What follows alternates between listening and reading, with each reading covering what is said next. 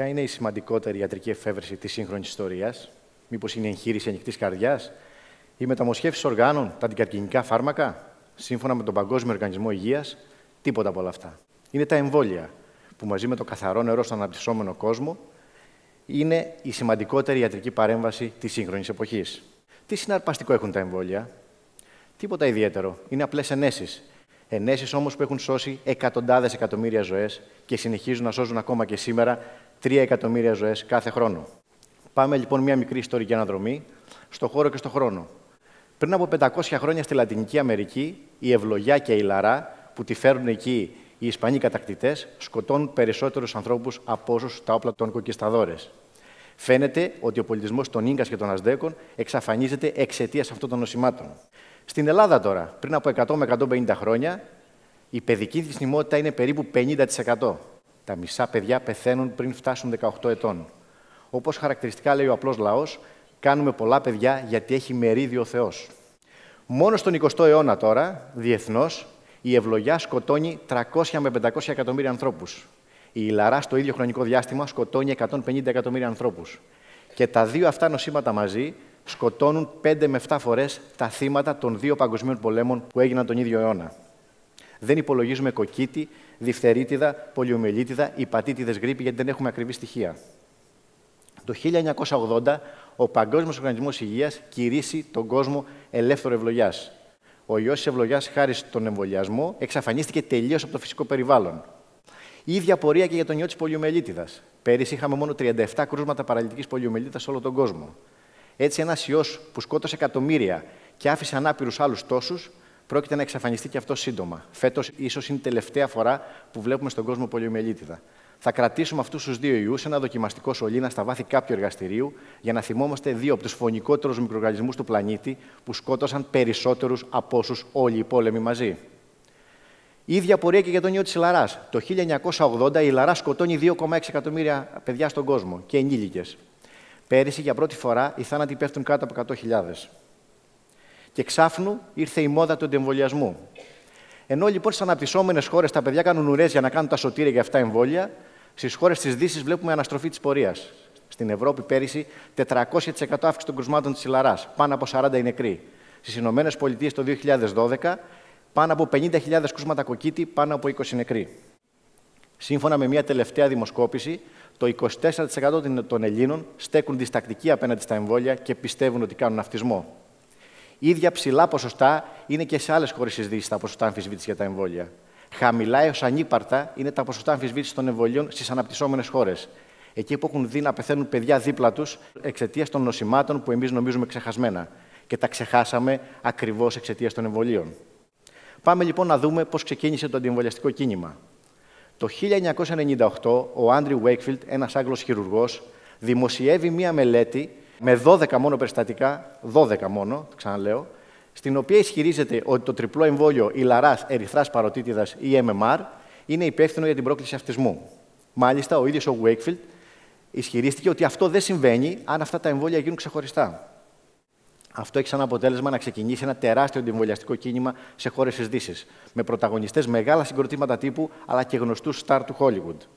Όμως η ανεξάρτητη έρευνα μετά από λίγο καιρό, αποδεικνύει ότι ο Άντριου Wakefield είχε χρηματοδοτηθεί παράνομα από δικηγόρους που ειδικεύονταν σε μηνύσεις εναντίον φαρμακευτικών εταιριών, είχε αλλοιώσει τα δεδομένα των ανεξάρτητων συνεργατών του και όχι μόνο αυτό, είχε προλάβει να καταθέσει μια πατέντα για το μονό εμβόλιο Ιλαράς, προκειμένου να βγάλει χρήματα από αυτό. Ταυτόχρονα διεξάγονται δεκάδες ανεξάρτητες μελέτες με χιλιάδες δείγματα πληθυσμού και δεν αποδεικνύεται καμία συσχέτιση του τριπλού εμβολίου Ιλαράς ερθρά παροτίτιδα ή MMR με τον αυτισμό. Ο Άντριου Βέικφιλ απολύεται από το νοσοκομείο που δουλεύει και χάνει την άδεια επαγγέλματός του. Δηλαδή σταματά να είναι πια γιατρός. Όμως η ζημιά είχε ήδη γίνει. Η κακή φήμη στα εμβόλια είχε ήδη κολλήσει. Πάμε λοιπόν να απαντήσουμε σε μερικές απλές ερωτήσεις και να λύσουμε τις πιο συνηθισμένες παρεξηγήσεις γύρω από τα εμβόλια. Είναι η φυσική νόση προτιμότερη, είναι καλύτερο για το παιδί να κολλήσει την νόσο; Σε καμία περίπτωση. Ακόμα και ήπια γενικά νοσήματα μπορούν σε διακριτό ποσοστό να κάνουν σοβαρές επιπλοκές, όπως μηνυγκίτιδα, εγκεφαλίτιδα, πνευμονία και γι' αυτό τα παιδιά να καταλήξουν ή και οι ενήλιε να καταλήξουν. Και όχι μόνο αυτό. Πρόσφατη μελέτη απέδειξε ότι όποιος κολλήσει με φυσικό τρόπο ηλαρά παθαίνει ο οργανισμός του ένα τεράστιο ανοσοποιητικό σοκ. Δηλαδή, προκαλεί ένα σοκ στο ανοσοποιητικό σύστημα και σβήνει την ανοσολογική μνήμη και για άλλα μικρόβια. Και κατά συνέπεια, αυτοί που έχουν περάσει με φυσικό τρόπο ηλαρά, για αρκετά χρόνια αργότερα κινδυνεύουν να πεθάνουν από άλλη σοβαρή λίμωξη. Δεύτερον, τα εμβόλια φορτώνουν τον οργανισμό με άχρηστα αντιγόνα και γι' αυτό πιέζουν το ανοσοποιητικό. Να εξηγήσουμε καταρχάς κάτι. Αντιγόνο είναι μία ουσία του μικροβίου που μπορεί να προκαλέσει ανοσολογική αντίδραση στον οργανισμό. Και αυτό είναι τελείως λάθος. Τα εμβόλια περιέχουν μόνο τα απαραίτητα αντιγόνα για να κάνει αντίδραση ο οργανισμός. Αντίθετα, η έκθεση στο φυσικό μικρόβιο εκθέτει τον οργανισμό σε δεκάδες ή εκατοντάδες αντιγόνα πολλές φορές, με αποτέλεσμα καμιά φορά να ξεκινούν εξαιτίας αυτού και αυτοάνωσε αντιδράσεις. Τρίτον, τα εμβόλια προκαλούν αυτισμό και άλλες μακροπρόθεσμες επιπλοκές. Το πρώτο έχει ήδη απαντηθεί από τις πρώτες κιόλας μελέτες. Αλλά μετά από 40 με 50 χρόνια εμβολιαστικών προγραμμάτων και χιλιάδες ανεξάρτητες μελέτες και εκατομμύρια δείγματα πληθυσμού, δεν έχει αποδειχθεί καμία μακροπρόθεσμη συνέπεια του εμβολιασμού. Τέταρτον, τα εμβόλια έχουν σοβαρές άμεσες παρενέργειες. Τα εμβόλια έχουν πολύπιε παρενέργειες. Οι σοβαρές παρενέργειες των εμβολίων είναι σπανιότατες και πάντα κατάλληλα αντιμετωπίσιμες από το καλά εκπαιδευμένο ιατρικό προσωπικό. Είναι πιο ασφαλές να κάνεις ένα εμβόλιο παρά να περπατάς στο δρόμο ή να μυρίζεις ένα λουλούδι σε, ένα, σε έναν αγρό. Και μια προσωπική εμπειρία. Στα 20 χρόνια περίπου που κάνω παιδιατρική, υπολόγισα τις προάλλες ότι έχω κάνει περίπου 80.000 δόσεις εμβολίων. 80.000 δόσεις εμβολίων. Ούτε μία φορά μια σοβαρή παρενέργεια. Ούτε μία φορά. Πέμπτον, τα εμβόλια μπορούν να γίνουν σε μεγαλύτερη ηλικία. Μπορούν να είναι τεράστιο λάθος. Εκθέτουμε τα μικρά παιδιά και τα βρέφη που είναι απείρως πιθανότερο να νοσήσουν και νοσούν βαρύτερα, με μεγαλύτερες επιπλοκές, τα εκθέτουμε χωρίς λόγο σε λάθος κίνδυνο. Έκτον, δεν εμβολιάσα το παιδί μου και δεν έπαθε τίποτα. Όταν είναι εμβολιασμένο το μεγαλύτερο μέρος του πληθυσμού, τότε ουσιαστικά προστατεύεται και το μη εμβολιασμένο μέρος του πληθυσμού λόγω της φραγής της διασποράς της νόσου στο περιβάλλον. Αντίθετα, όταν αρχίζει να μην εμβολιάζεται κάποιο διακριτό μέρος του πληθυσμού, τότε ξεκινούν πάλι επιδημίες γιατί το ιός βρίσκει διέξοδο και κολλά πρώτα φυσικά και κυρίως τους μη εμβολιασμένους. Αυτό κατεξοχήν συμβαίνει στην Ελλάδα σε πληθυσμούς τσιγκάνων, οι οποίοι είναι κατεξοχήν ανεμβολιάστοι και πεθαίνουν πολύ συχνά από νοσήματα όπως κοκκίτη ή ηλαρά. Έβδομον, τα εμβόλια έχουν βλαβερές ουσίες, όπως υδράργυρο ή αλουμίνιο. Πριν από 20 χρόνια υπήρχε ένα άλλα του υδραργύρου ως συντηρητικό σε μερικά εμβόλια, η θειομερσάλη λεγόμενη, ίσως έχετε ακούσει γι' αυτή. Αυτή λοιπόν αποσύρθηκε από τα εμβόλια μετά από συστάσεις τη Αμερικανικής Παιδιατρικής Ακαδημίας. Παρότι δεν είχε αποδειχτεί ποτέ όταν βλαβερή. Μία γνώση που σίγουρα δεν θα έχετε. Όσοι καταναλώνετε ψάρια ή θαλασσινά στο διαιτολόγιο σας, παίρνετε 100 φορές περισσότερη θειομερσάλη από όσοι κάνουν τα συμβόλια. Το ίδιο ακριβώς συμβαίνει και με το αλουμίνιο. Το γάλα που θυλάζει το, γάλα, ε, το, η μητέρα του, το πρώτο εξάμεινο ζωής, παίρνει 10 φορές περισσότερο αλουμίνιο από όσο ο, του χορηγούν όλα τα εμβόλια που κάνουμε. Αν δεν θυλάζει και παίρνει γάλα σκόνη, παίρνει 40 φορές περισσότερο αλουμίνιο από ό,τι παίρνει από όλα τα εμβόλια που κάνει σε όλη του τη ζωή. Όγδον, τα αντιεμβολιαστικά sites έχουν σοβαρά επιστημονικά δεδομένα. Θα σας διαβάσω κάτι τώρα.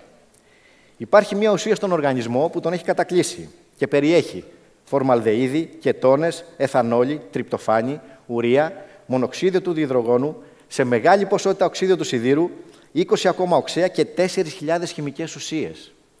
Η ουσία αυτή μπορεί να προκαλέσει ανεμία, λευχαιμίες και μέσω αυτής κάνει μετάσταση ο καρκίνος. Οι φαρμακευτικές εταιρείες και οι κυβερνήσεις ξοδεύουν δισεκατομμύρια δολάρια για να την επεξεργαστούν και να τη συντηρήσουν.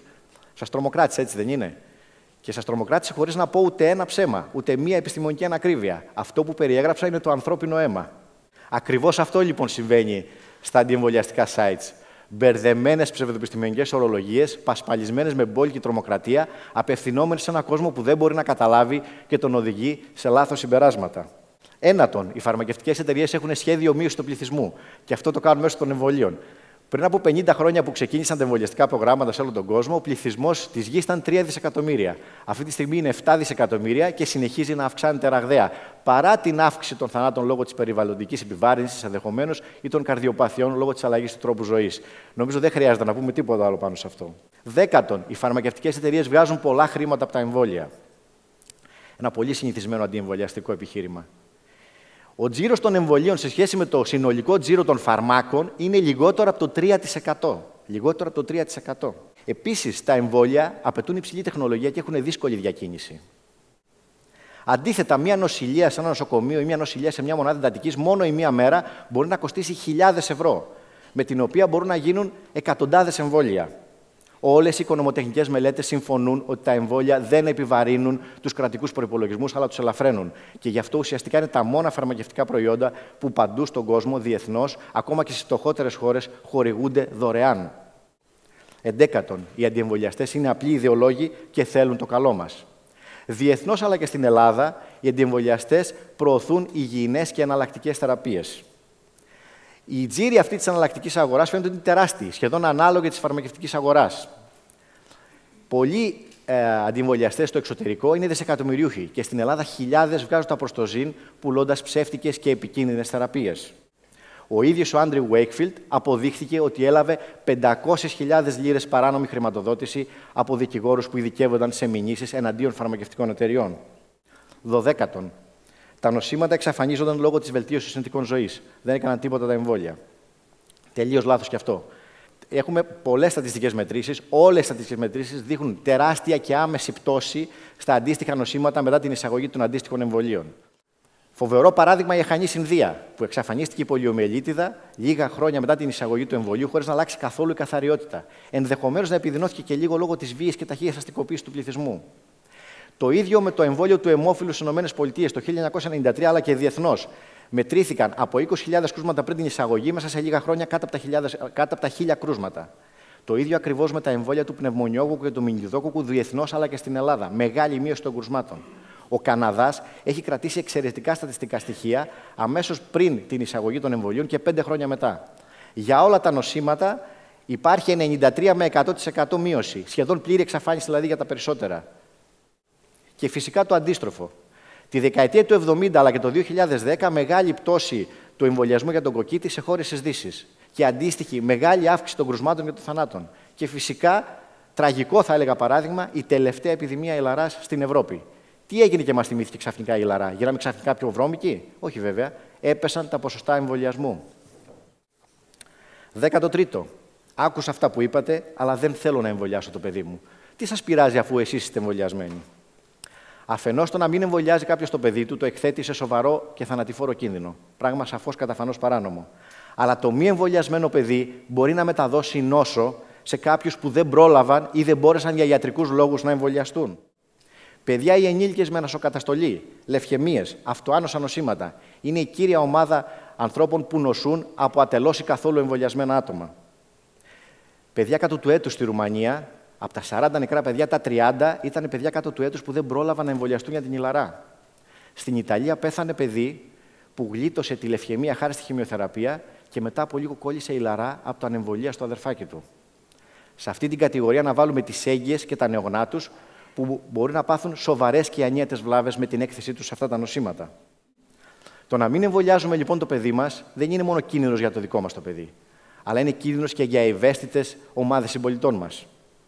Το να μην εμβολιάζει κάποιος το παιδί του είναι ουσιαστικά αντικοινωνική συμπεριφορά. Είναι σαν να περνάει ένα κόκκινο φανάρι στο δρόμο. Είναι σαν να οδηγεί στο αντίθετο ρεύμα της εθνικής οδού. Συμπερασματικά λοιπόν, τα εμβόλια είναι πιο ασφαλής, η πιο σημαντική και η πλέον οικονομική υγειονομική παρέμβαση της σύγχρονης ιστορίας. Είναι μία από τις μεγαλύτερες εφευρέσεις του ανθρωπίνου πνεύματος. Και τελειώνοντας, μας έχουν σοκάρει όλους οι εικόνες θανάτου του εμφύλιου πολέμου της Συρίας. Ξέρετε πόσα θύματα έχει ο εμφύλιος πόλεμος Συρίας στα 7 χρόνια που γίνεται; 450.000 ανθρώπους. Μόνο η πατήτηδα Β κάθε χρόνο, λόγω μη διαθεσιμότητας των εμβολίων στις αναπτυσσόμενες χώρες, σκοτώνει 750.000 ανθρώπους. Οι 300.000 πεθαίνουν από καρκίνο του ύπατος που προκαλείται από την υπατήτηδα Β. Μόνο η πατήτηδα Β κάθε έτος σκοτώνει δύο φορές τα θύματα του 7 ετού εμφυλίου πολέμου στη Συρία. Ήμουν αρκετά χρόνια γιατρός σε μονάδα εντατική νεογνών και παιδών. Εκεί τα παιδιά, σαν τα δικά σας και τα δικά μου, να πεθαίνουν σε λίγες ώρες από πνευμονιόκοκο, από πνευμονιόκοκο μηνυτιδόκοκο ή λαρά. Είδα νεογνά να γεννιέται κοφά και με νοητική στέρηση επειδή πέρασε η μητέρα τους ερυθρά στην εγκυμοσύνη. Όσο εγώ μιλούσα, 80 παιδιά, αυτό το τέταρτο που μιλούσα, 80 παιδιά σώθηκαν σε όλο τον κόσμο εξαιτίας των εμβολίων. Έχω δει παιδιά, σαν τα δικά σας και τα δικά μου, να πεθαίνουν σε λίγες ώρες από πνευμονιόκοκο, μηνυτιδόκοκο ή λαρά. Δεν θα ξαναδώ χάρη στα εμβόλια. Ευχαριστώ.